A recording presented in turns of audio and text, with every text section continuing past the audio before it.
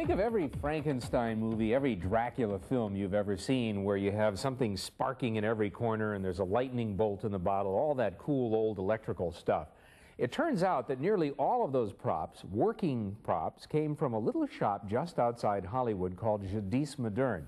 Actually, it's not a shop at all. It's one man's private museum of everything that used to be the next step in technology, my personal playground. Now, if you watch closely, you'll see I get electrocuted twice, but I'd go back to do it again.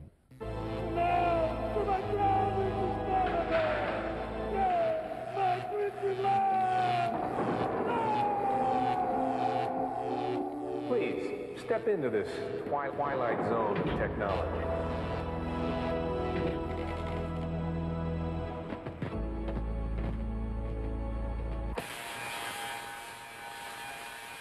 It's called Jadis Moderne. It's a Jurassic Park of industrial dinosaurs and the personal playground of Park Meek, a 70-year-old prototype for the Doc Brown character in the movie Back to the Future.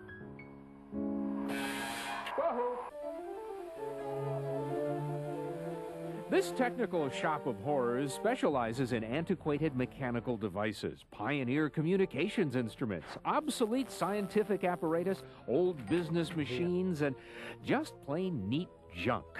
This is the ionosphere. Well, it's not the ionosphere, it's a plasma globe, the second largest ever made. This is Jacob's ladder. Well, it's not a real ladder, it's 9,000 volts of electrical spark trying to reach heaven. And this is Dr. Frankenstein doing some kind of brain experiment. Our show is about the next step in technology, so. Uh, I'm this, this sort of behind. You, you should have come to me 50 years ago. this would have been the next step. Yeah, right. this is just, you know, a collection of weird stuff. If you want to be a dentist, portable dentist. This is great for hot dogs, too. This is an eight ball mic. Wow. Non-directional. What the heck is this? I haven't the foggiest. uh, 1926 portable radio.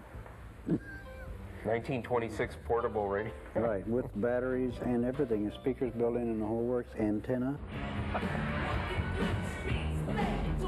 like it? It's the world's first boombox from the 1920s. About 60 pounds. Notice how they got smaller and smaller, and then all of a sudden they got larger again? If you thought of opening up a museum and charging the public to come in or anything? Or? No. I don't want to stand, I mean, I don't want to stand around and explain all this crap. what he does do is rent this stuff out to Hollywood movie companies.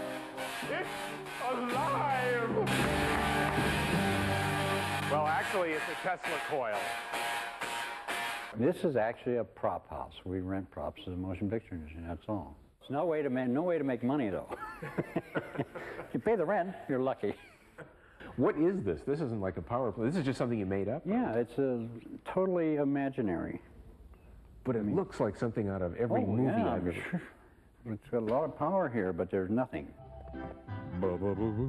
You want a 1930s vintage microphone? They're here. RCA Shure and Electro Voice. There's Bakelite black rotary dial phones. Doctor's instruments. This ancient attachment was supposed to cure things with a spark, such as acne, warts, and other skin problems. And if you had a vision problem, you were supposed to hold this up to your eyes. Whatever this system is, it was supposed to cure everything from headaches to hangovers to, to preparation. Ouch. Need a brass cine-edit projector? Or how about two dozen Pyrex glass lab beakers? Or maybe some turn-of-the-century typewriters? There's more stuff? We got plenty. In a bit of serendipity that Meek is hard-pressed to explain, he began accumulating his cache of gizmos in earnest about five years ago. He buys in bulk, by the pound, and has no sentimental attachment to any of it. What's your favorite thing about collecting this stuff? Is looking for it, finding it, that's the challenge. That That's the most fun. That, that's the only reason I have the business, so I can go out and find more stuff. I don't know if I'm going to say anything. with a couple of million votes lying around here, you can barbecue your hide with one false move. This ain't a place for the easily shocked. But it is amazing just how astounding a lot of this old stuff is. Check this out, an ordinary fluorescent bulb. Nothing here, nothing here. But with a little help from science, we have a lightsaber from Star Wars.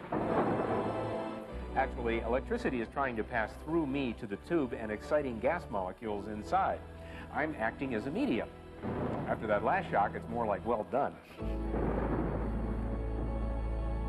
See, now do you understand why members of the public are not invited into that museum? The experience can be uh, quite shocking. However, you can, if you look closely, see Park Meek's toys and motion pictures from the original Dracula to Jurassic Park.